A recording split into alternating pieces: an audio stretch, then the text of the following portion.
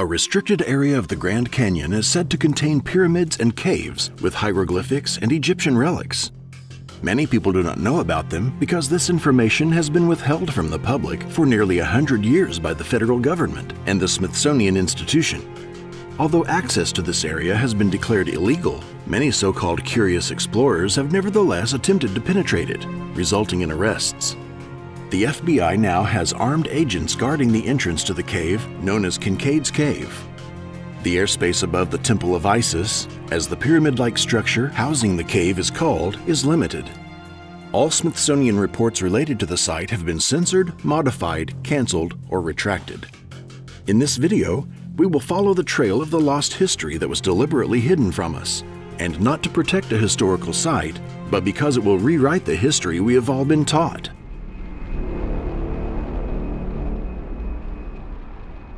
The Grand Canyon has long been a source of intrigue and mystery.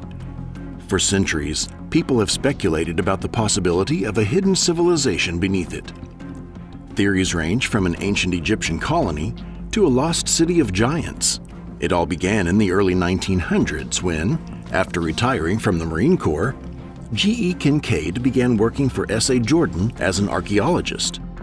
Jordan was sent to the Grand Canyon by the Smithsonian Institution to investigate information reported by John Wesley Powell. In fact, the first American explorer and archaeologist to search the Grand Canyon was Powell. He partnered with local resident Jacob Vernon Hamblin. Powell also makes amazing discoveries in the Grand Canyon, which we will look at in another video of ours.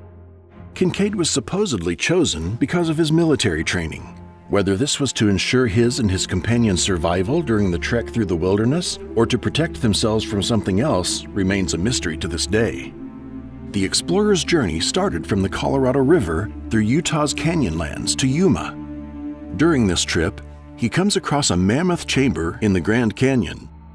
The entrance was 450 meters down the sheer wall of the canyon. It is a long main passage that leads to another chamber, from which dozens of passages branch off like the spokes of a wheel. Several hundred rooms were discovered, accessed by corridors leading off the main passage. The finds include objects that are not known to have been typical of the local population and undoubtedly originate from the Orient. Military weapons and copper tools with edges as hard as steel indicate the high level of civilization that inhabited these caves. Kincaid described everything in detail to the famous newspaper Arizona Gazette, which published an article about a great and wonderful underground Egyptian city hidden in the Grand Canyon on the front page. The story goes that while traveling on the Colorado River in a boat, about 42 miles upriver from El Tovar Crystal Canyon, he noticed spots in the sedimentary formation on the east wall, about 600 meters above the riverbed. There was no path there, and with great difficulty, he managed to reach the mouth of the cave. Examining the entrance to the rock, he noticed chisel marks on the inner wall. He remembers securing his gun and going inside. After a few hundred meters along the main corridor, he reached a crypt where he came across mummies. He shared that he collected several relics, which he sent to Washington with a detailed report on the discovery, after which more serious research was undertaken. It describes the main passage with a height of 3 meters and 70 centimeters. About 20 meters from the entrance are the first side branches, along which on both sides there are rows of rooms the size of ordinary living rooms. Passages are carved out or cut with precision as if drawn by an engineer. About a hundred meters from the entrance was what he called the cross hall. It was several hundred meters long and contained the idol or image of the people's god, seated cross-legged with a lotus or lily flower in each hand. It has not been established what religious worship the idol represented, but what was found most closely resembles the worship of the ancient people of Tibet. Surrounding this idol were smaller images, some beautiful, others with twisted necks and irregular shapes, possibly symbolizing good and evil. All this is carved out of hard rock, resembling marble. In the opposite corner of this hall, tools of all kinds made of copper were found. The inhabitants of this place undoubtedly knew the lost art of hardening this metal, which for centuries had been unsuccessfully sought. Vases, urns, and cups of copper and gold made with very artistic designs were also discovered. Ceramic works include enamelware, Another corridor leads to granaries, such as are found in Eastern temples. They are round in shape and made of something very hard like cement. In this cave, a gray metal was also discovered, the exact type of which has not been established. It resembles the familiar platinum. Mysterious hieroglyphs are written on all objects, walls, stone slabs, and above the doors. The engravings on the tablets most likely have something to do with the religion of the people. Similar hieroglyphs have been found in southern Arizona. Only two animals were found among the pictorial inscriptions. One is of prehistoric type.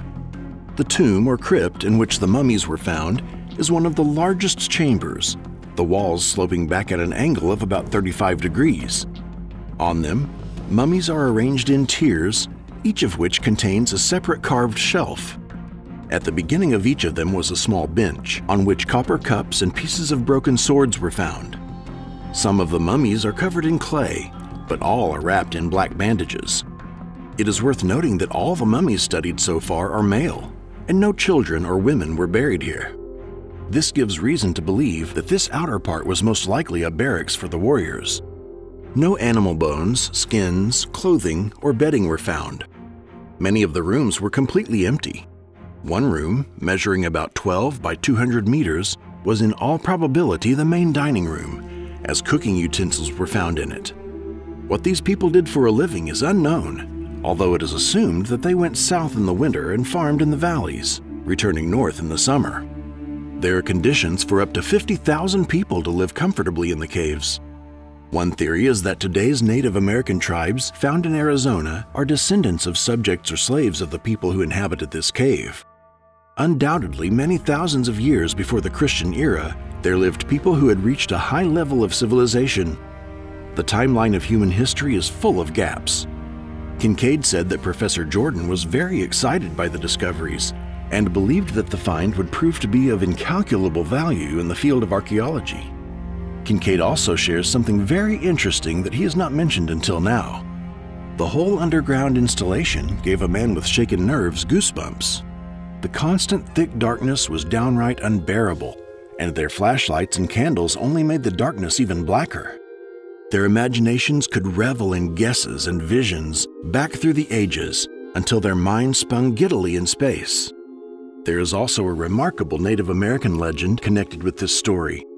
Among the Hopi Indians, it is said that their ancestors once lived in an underworld in the Grand Canyon until a discord arose between the good and the bad the one-hearted and the two-hearted.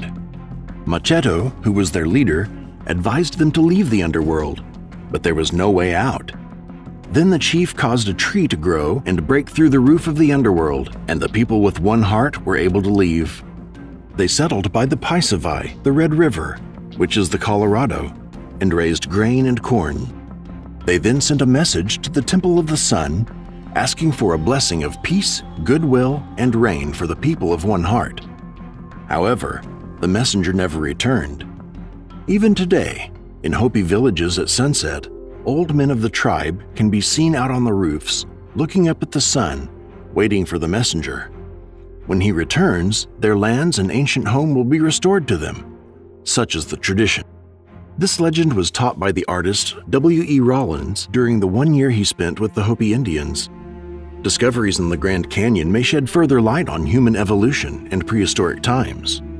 According to the account which Mr. Kincaid gave to the paper, the archaeologists of the Smithsonian Institution, which financed the expeditions, had made discoveries that proved almost conclusively that the race inhabiting this mysterious cave, hewn by human hands, was of Oriental origin, probably from Egypt, whose roots go back to Ramses.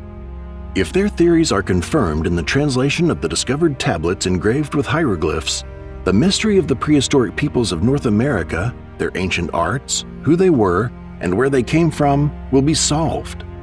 Egypt and the Nile, Arizona and Colorado would be connected by a chain of history stretching back through the ages that would amaze the wildest imagination. But the mystery doesn't end there. On the contrary, it is just getting started. Major newspapers such as the Arizona Gazette and the Phoenix Gazette published articles in 1909 around a majestic, underground Egyptian city hidden in the Grand Canyon, and then nothing. there were no more articles, sequels, or information in other papers to talk about it. The information just seems to have disappeared. There is no record of Kincaid or Professor Jordan in the Smithsonian Department of Anthropology, nor are there any documents in the Smithsonian detailing the artifacts collected during the expedition. When asked directly about Kincaid's claims, a Smithsonian representative stated, The first thing I want to tell you before we continue is that no Egyptian artifacts of any kind have ever been found in North or South America. I can also tell you that the Smithsonian Institution has never been involved in such excavations. But that doesn't seem entirely true as after checking the Smithsonian Institution's website, we found a note about a carded biological specimen taken from the Kincaid Cave on October 18, 1942. So, after all, there are various studies going on there, and not since yesterday. It is also an interesting coincidence that Theodore Roosevelt had a special interest in the Grand Canyon area. He visited the modern Lake Powell and Grand Canyon area several times to explore it. In 1908, he declared the Grand Canyon a national monument, and in 1919, the Grand Canyon was given national park status. The area, home to landmarks such as the Pyramid of Cheops, the Temple of Buddha, the Temple of Manu, the Tower of Ra, the Temple of Horus, the Temple of Osiris, and the Temple of Shiva, all named after deities of Indian, Asian, and Egyptian origin, has limited access and it is heavily guarded by the government. It is kept off limits to tourists and visitors, and for access, if you are an amateur explorer, you will need a permit, but they are not issued. Even the sky above this area is restricted. If you ask the forester why the names of the above sites are the way they are, they will tell you that the first explorers were simply fascinated by the cultures and liked those names. The Smithsonian Institution has been defined as a world stronghold of conservatism as well as the most extreme orthodox theories. Mainly funded by the US government, its main task is to support the theory of the linear development of the human race. According to conspiracy theorists, the Institute went so far as to destroy artifacts to support this historical perspective. With this, it is as if the academic world in unison has imposed total censorship and disinformation regarding any new discoveries that could overturn accepted modern archaeological theories just as no one knew about the announcement published in the Corriere della Sera on September 15, 1992. It confirms the fact that the ancient Egyptians knew North and South America well. An incredible discovery made by scientists from the Institute of Anthropology and Human Genetics in Munich, Germany, has established the presence of hashish, nicotine, and cocaine in the bones, hair, and muscles of some Egyptian mummies. This confirms the theory of many independent researchers and that of the great Norwegian explorer, Thor Heyerdahl, that the Egyptians and Phoenicians were the first to cross the Atlantic Ocean and discover America. We hope that one day the truth will come out, and we too will be allowed to peer into this fiercely guarded area to touch the secrets of antiquity. Until then, we're left with research into unconfirmed information, guesswork, conundrums, and putting two and two together. Share your thoughts on this topic in a comment Support us by subscribing to the channel and sharing this video